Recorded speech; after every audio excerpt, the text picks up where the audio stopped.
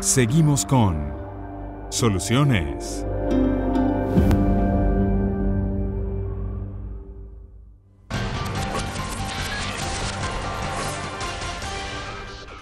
Continuamos con más de soluciones. El día de hoy, pues conversando sobre la familia. Nuestro programa está dedicado justamente a la familia, donde comienza todo y donde pues aprendemos todo, todo desde la familia. Em, nos acompañan las especialistas Yusmari Brito y Maripili Golpe López, ambas son, psicólogas, estamos conversando sobre ese equipo que debe formar la familia. Decíamos en el corte que pues ese equipo, y que ustedes denominan equipo parental, pareciera que no, no es tan fácil lograrlo dentro de un núcleo familiar. ¿Por qué? ¿Y cómo definimos aquí ese equipo parental? Eh, te decía antes que la familia comienza por una relación de pareja, ¿sí? Dos personas que se unen, que deciden convivir juntas. Quizás podemos partir de ahí. ¿Deciden convivir juntas? Esa es una pregunta. ¿O las circunstancias te llevan a convivir juntos? Por ejemplo, eso hay que preguntárselo. ¿Y para qué estoy con ese otro? ¿Sí? ¿Qué sentido tiene en mi vida personal estar con un otro? Y qué es lo que quiero compartir. Quizás la pareja tendría que empezar preguntándose cosas como esas. ¿Para qué? Para luego de tener claridad de un proyecto personal, individual, cómo podemos negociar, acordar, conversar sobre un proyecto común para estar juntos, ¿sí? Eh, entonces, para ir haciendo equipo, equipo como padres, sea que decidamos o no tener hijos, pero un proyecto también para estar juntos, para vivir juntos. Y entonces eso pasa por una serie de negociaciones a diario, desde la convivencia más sencilla a diario, de, bueno, todas las, las creencias, los hábitos que tenemos en nuestra vida, hasta las cosas más trascendentales, ¿no? Eh, bueno, que dónde quiero vivir, qué es lo que me importa, qué es lo que valoro, qué es lo que disfruto en la vida. Cuando eso no está tan claro, digamos, y puede, puede pasar y pasa muy frecuentemente, eh, no está necesariamente claro el proyecto en conjunto, ¿sí? Como pareja.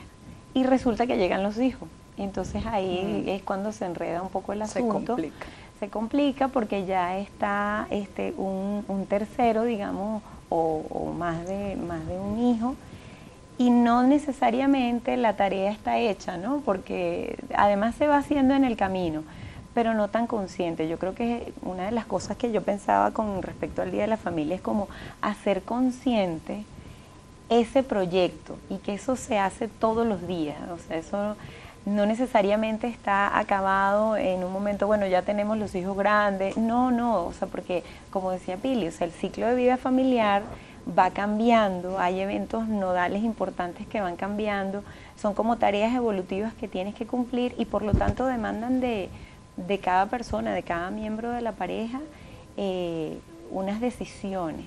Entonces, cuando esas decisiones no son tomadas en conjunto, porque ni siquiera cada uno lo tiene tan claro, ahí obviamente este, se enreda el asunto, se complica porque entonces qué modelaje le estás dando a, tu hijo, a tus hijos, ¿no? ¿Cuáles, son los tipos de familia, mm, digamos, más, más comunes eh, en nuestra cultura, en la cultura venezolana, en la latinoamericana? Tú sabes que cuando te escucho esa pregunta, recuerdo eh, el dibujo típico de una, del libro de educación primaria, ¿no? El papá, la mamá y los niñitos. Además, en cierta, cierto tipo de actividad, cada uno de los roles, del padre y de la madre, ¿no? Eso va creando estereotipos y eso también nos va limitando las visiones acerca de los distintos grupos familiares, que se pueden conformar. y, yo creo que ahí tenemos que revisarnos también.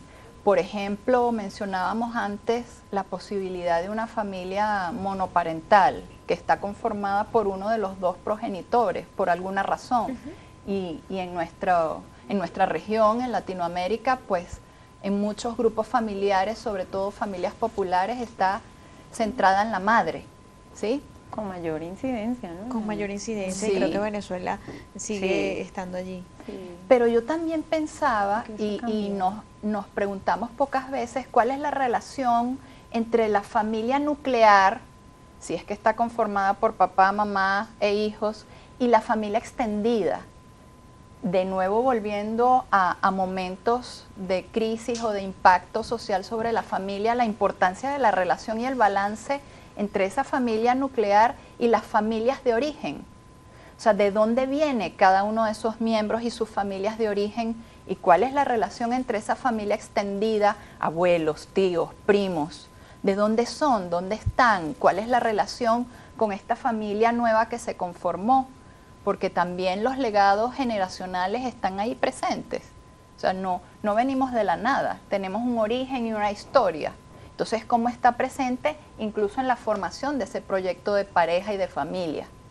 Además que pues eh, en este momento hay parejas que se han ido conformando en, en Venezuela y en otros países, tanto de Latinoamérica y en Europa también, pues se ven familias conformadas por mm, dos hombres o dos mujeres. claro, Sí. Esto claro. también eh, se suma a esta a estas culturas y justamente eh, eh, usted mencionaba el tema del el libro de primaria que pues es con lo que comenzamos a leer, Claro. con lo que comenzamos a estudiar y ya nos crea un estigma, un, un estereotipo que, que pareciera que es el que debemos seguir. Mm. ¿Qué pasa, por ejemplo, eh, y ustedes que es psicóloga también eh, y, y- y especialista en adolescentes, qué pasa con esos jóvenes que se encuentran, o esos niños, que se encuentran con un, libro de primaria que solo muestra un papá, una mamá y unos niños? Cuando se ven en, en- en la universi- universidad de la vida que hay y pueden haber familias que son dos mamás, dos papás. Sí, ahí, yo creo que has tocado un tema importante porque justamente por el Día Internacional de la Familia, uno de los temas que está, digamos, como entre los organismos internacionales es la inclusión y la aceptación de la diversidad, ¿no?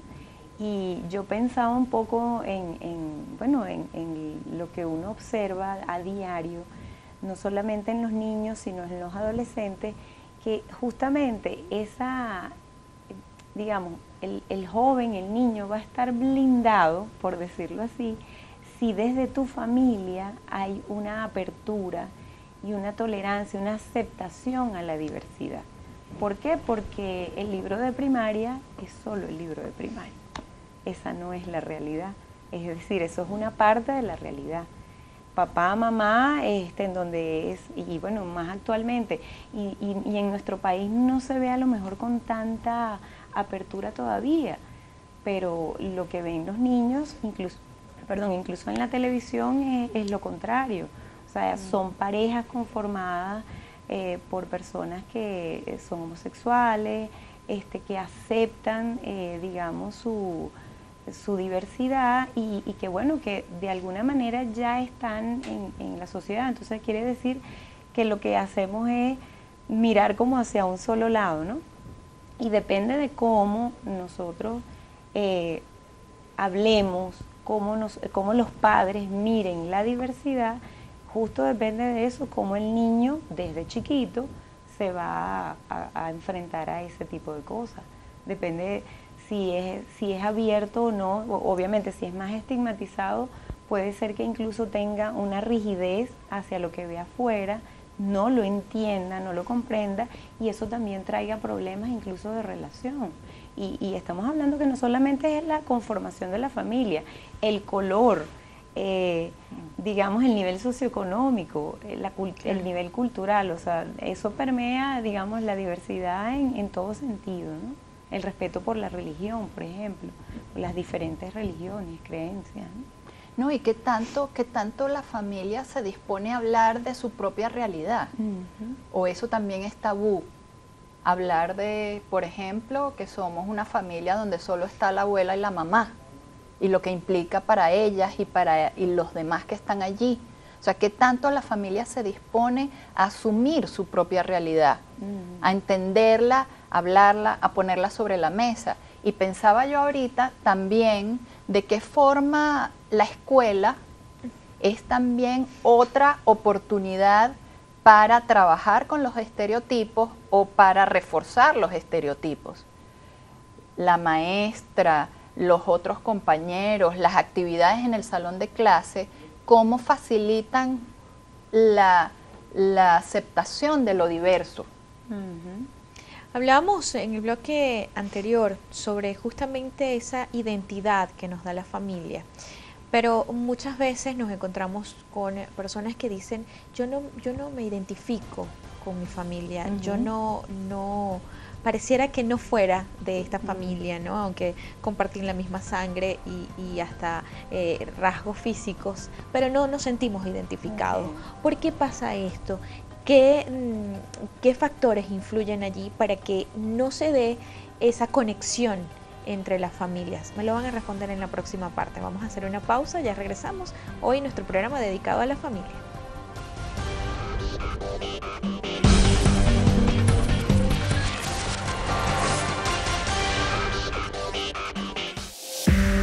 Usted está viendo Soluciones.